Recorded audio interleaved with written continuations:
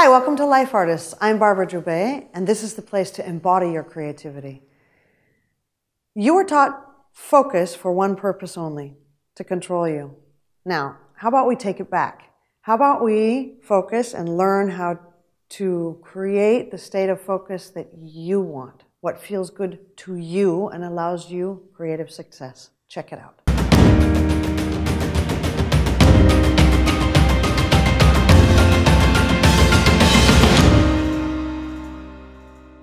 So this week is all about recovering the focus how you want to experience it. So welcome back to our three-part exploration into focus. In this week's video, we're going to get practical and we're going to start describing embodied states of focus, learn how to create high performance states and maintain those elusive and wished for flow states.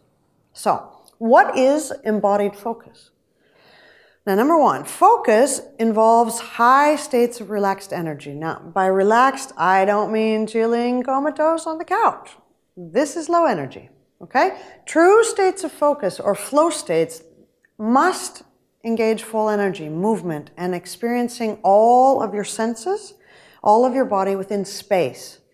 Now, what that means is it means literally practice, yeah, to connect with your surrounding, practice to connect with your senses. Agree to movement.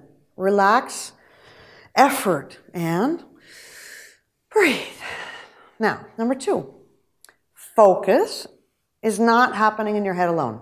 Okay? Focus is not here. Expand to include all, all of your senses. We tend to focus with our head, our eyes, and sometimes our ears. And especially when we're trying to concentrate, as we talked about last week, we try to shut out our senses. Okay? But remember, focus relies on our nervous system. And realize that 10% of our entire nervous system is up here. 10%.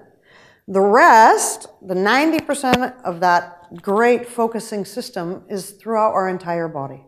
Yeah? Most of our interaction and social behavior is sensory and physical. Okay? We feel each other far more than we mind each other. Huh? We know from our bodies if someone is angry if they're threatened or if they're upset, right?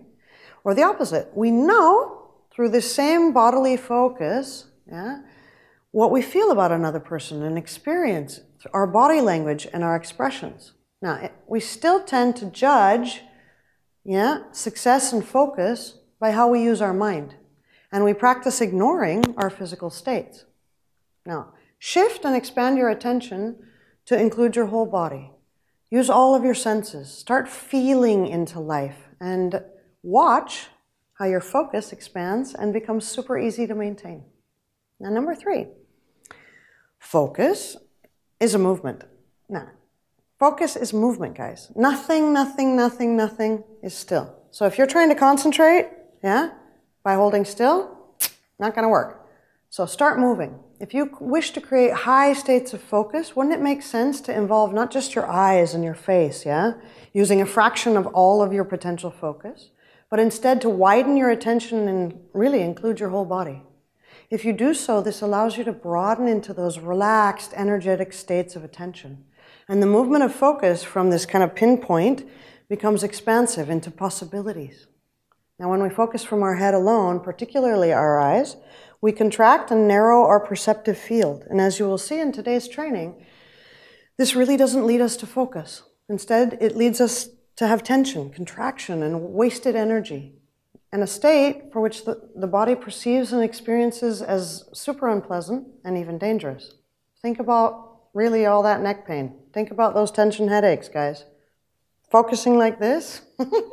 so practice allowing and creating movement really Create movement, little movements, while trying to focus. Notice how the movement of, is of your breath, of your body. And practice relaxing these little postures, the areas that are contracting. Yeah? Let go of the fixation in your eyes. Look around. I mean, just little moments. Zoom out sometimes and check in, really into your environment. Where are you? Let your senses listen for a minute. Let you let you let your eyes just see something wider for a second. Okay? And number four, Physically create the experience you desire. What that means is describe the feeling and the state that you want while in focus. Okay, we say we want focus, but what is that? Do I want spaciousness? Do I want quiet? Do I want excitement and a lot of flow? If I say I want less distractions, what does that mean? What does it mean here in my body physically? Okay? Now, while you're doing that, really explore. Explore physically. How is this desired focus created and expressed in my body? Now, use times when you've naturally felt that, when you've naturally done that. We all know times that we've been quiet and focused. Okay? Imagine that. Close your eyes and just feel that for a minute, and your body will already start to embody that state. Okay? Your body knows how to be this far more than your mind. So, your training has just taught you that you're not able to focus.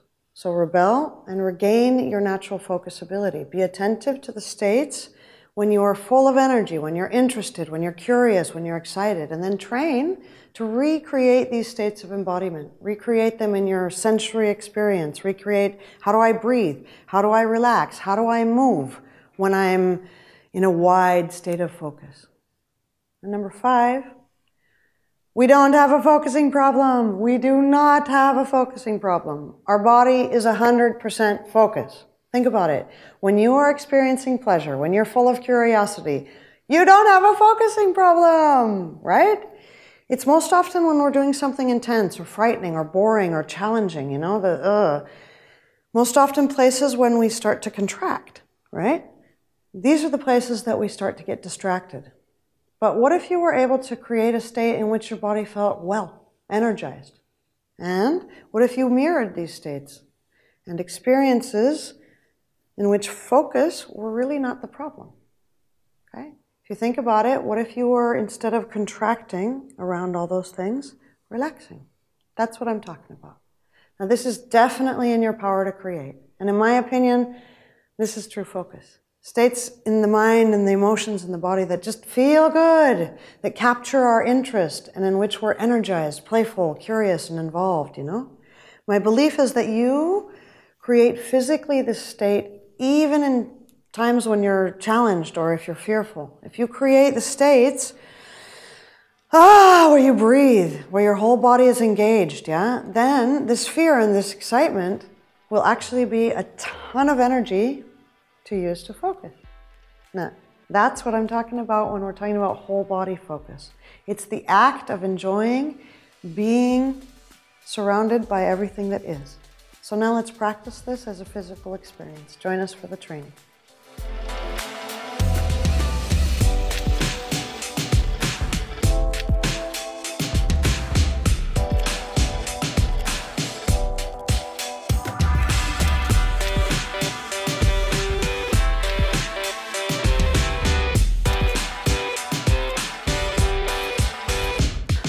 Right, welcome to today's training. We are talking about how we are driven to distraction by our focus, and we're going to train really to notice how we're narrowing our focus with our mobiles and our little computer screens.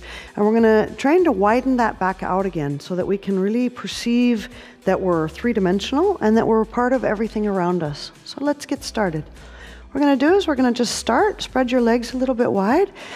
You're going to bring your hands up and go down onto your tippy toes. Breathing in while you go up, breathe out while you go down.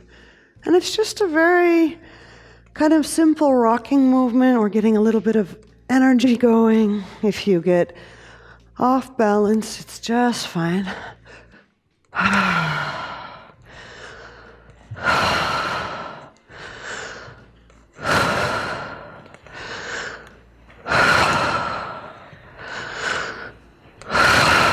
do breathe into your chest. Let your mouth open. You can stop, relax, and now bring your hands to your chest.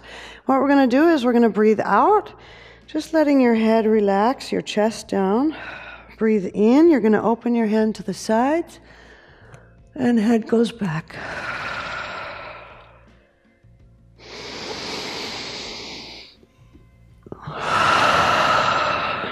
Allow your knees to relax.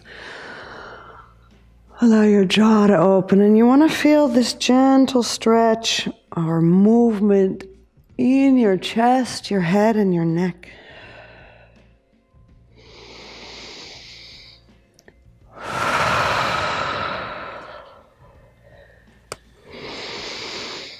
And now uh, stand. And what we're going to do now is we're going to take our fingertips and you're going to pinch them in front of your body, really squeeze them in front of your low belly.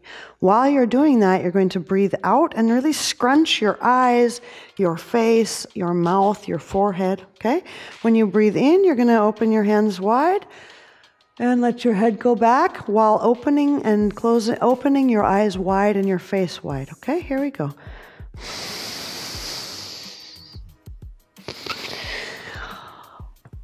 And it's a really gentle movement when you're opening. Ah, you're not stretching, you're just opening.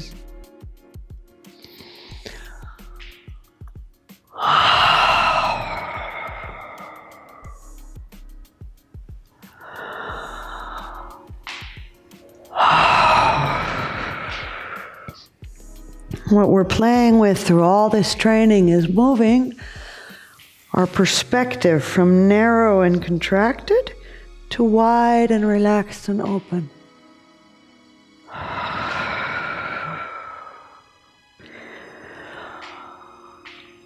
You can notice while you're doing this with your face and your fingers, probably your vagina, your anus will also contract. It's what we're doing when we're contracting our focus. And now relax, take a deep breath. Hmm.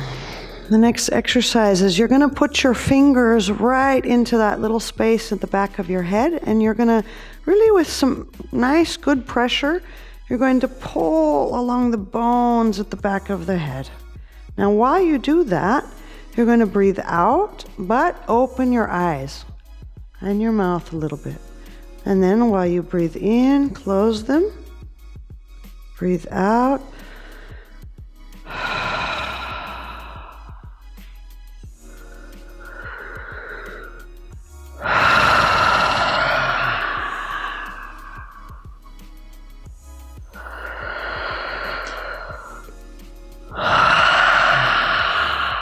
And what you're doing is really just getting the back of the where the eyes attach. And while you're doing that, you're opening your eyes wide and then returning to the middle, letting your eyes and your face just relax closed. Keep going. And now relax, take a breath. And now just imagine that you're on your smartphone, your mobile phone, or you're looking at your laptop or your computer. And I want you to just put yourself into that position.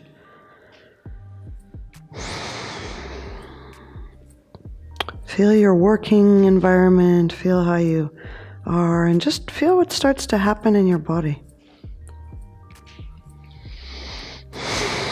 Feel where there's effort. Feel where things start to become stiff.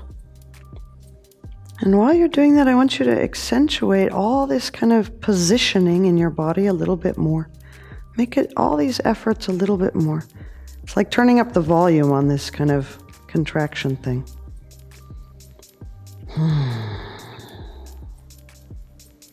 And just feel this kind of movement, these kind of repetitions. And now relax them. Breathe full. Let your body move a little bit and now start to tap your eyes. Mm, the bones around your face, all or along your forehead, just give them a little tap lightly. You can also tap your eyeballs and press. You can rub your eyes, stretch them. Ah. And be sure and breathe while you're doing this. And now grab your ears, ah, and stretch them. Ah, breathe and notice, ah, rub all around. It feels very wonderful. Yeah, stretch and massage around the ears, the back. Mm. Ah. And now take a breath. Excellent. Now I want you to take your fingers and put them on your clavicle. That's this this bone that goes across here, and I want you to find this space where your neck and your clavicle meet. When what you're what we're going to do is we're going to breathe out and raise our shoulders and lower our head. And what should happen is your fingers should go into the little space here. Okay? And then we're going to breathe in, and all you're doing is keeping your fingers quite inside there and raising up your. And then take a deep, deep, full breath. You're getting a very gentle but strong, nice, good pull on these bones.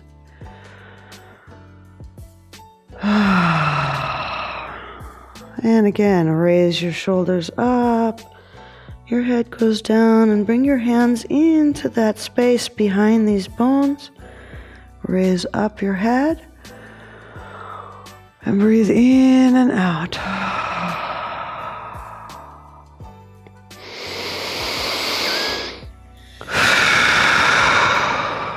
And now relax your hands. Ooh, and breathe. And now bring your hands behind your head, and you're just gonna twist while breathing.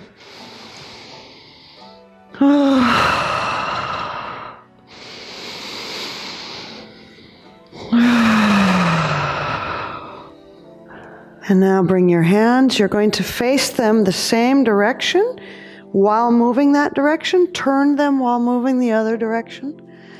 And really feel the air around your body moving. feel this gentle stretch in your spine. Breathe and then relax. Okay, now we're going to raise up again and lower. Okay? And while we do it, we're not going up on our knees, on our toes. We're going down, looking down, looking up, looking down.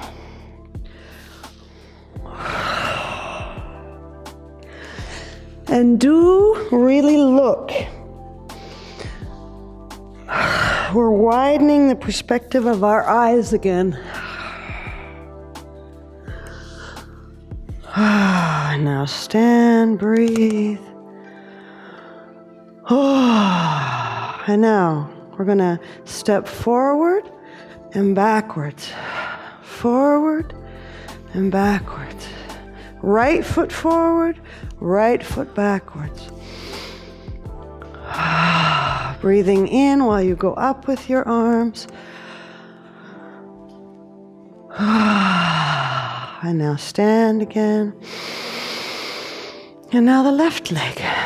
Forward with the left leg and feel this movement in space, forward and backward.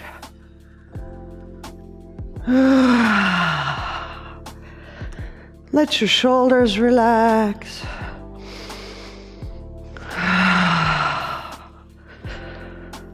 And now stand, take a breath. And now turn your head to the left and look. your left or right, whichever. It's fine. And really look. While you turn, really look and let your eyes be wide. Look behind you, look in front of you. Breathe while you do this. Look around, look up gentle movements with your neck and head. Look down.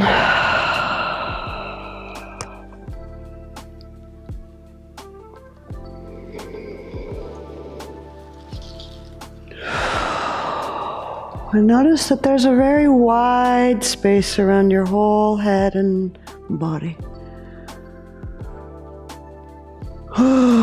and now return and just close your eyes. Feel your body. And while you do this, just notice all the space in front of you, behind you, to the sides of you, above you, below you. And now open and let your eyes just defocus and perceive all the space around you. Let your eyes be wide as a whole body. Let your focus and your perspective. While you do so, let your head and your neck relax. And just notice that this 10 minute training really gave you a very quick and short capacity to spread out your focus again. Yeah? When we're getting stuck in our narrow focus, we also get really stuck and narrow in our perspectives for our life. And we're training really to open our perspectives wider just so that we can have whole body focus. Now, continue with the rest of this video where we do implementation and uh, collective we think and looking forward to seeing you there. So how are you now? Now, feel free to use any part of this physical training whenever you wish to zoom out, yeah, whenever actually you wish to create whole body focus. And pay attention to the physical state that you're creating when you are becoming rigid and trying to, you know, focus with your head and your eyes and see what happens. Yeah. If you actively change your physical state, if you start to raise your energy, if you relax all those rigid patterns in your body and actually allow movement. Enter into the practice of focus. Practice and create these states and see what it creates in your ability to focus. Now, if you want to dive deeper into your practice, check out the implementation questions below. And they're great questions to get you thinking and make sure while you're implementing to stay physical. And now I want to hear from you. Every week here at Life Artists, we do what I call a we think, which means we share with each other, we get collectively rethinking this subject. So this week I want to ask you, and I want you to talk to us about how do you experience yourself when you're energetic, enjoying, curious and exploring life. What new ideas, situations, people, and predominantly creations do you meet while you're in these states of focus? And secondly, how did shifting your attention to your creative experience shift your level of focus? How did being physical allow you to do what you're wishing for? And how do you plan on implementing this training into your daily life? So, Get in on the conversation. Jump on over to Life Artists Community blog and join our community. Get involved, guys. Share your truth. We need each other. Support really, really our creative growth. Creativity for me is all about collectively shifting something. So talk to each other. Let's do a collective we think. Now, if you love what I'm doing, which I certainly hope you do, share this with others. Comment. You're welcome to contact me. I love hearing from you. Sign up for my YouTube page and find out more about everything I'm doing. And if you're seriously, seriously wanting to change something, make sure that you join us at the live events, the Conscious Creator workshops. They rock. A whole bunch of creators getting together and training together. Super fun. And sign up for the newsletter and I'll get you all the information that you need for that. Thank you so, so much for joining me in all of this. And remember, you are the creator and your experience is truly in your hands.